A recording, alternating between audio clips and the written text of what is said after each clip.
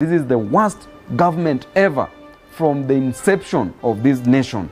From the time of the Kenyatta era to Moi's era, even during Moi's era, the country was not as bad as it is as we are speaking.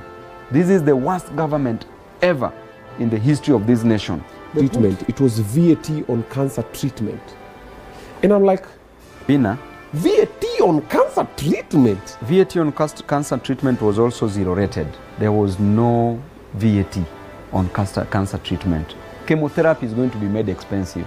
So Ruto anatudharau tukiwa watoto by increasing taxes on diapers. He doesn't respect children. He doesn't respect our girls and our women by increasing taxes on sanitary pads. He doesn't respect the living, right? By increasing taxes on treatment for cancer, the other uh, these uh, these terminal diseases like cancer. My brother is making chemotherapy to be more expensive. Cancer is already a plague, a disaster, and Reject finance bill! Reject finance bill! Reject finance bill! Reject finance bill!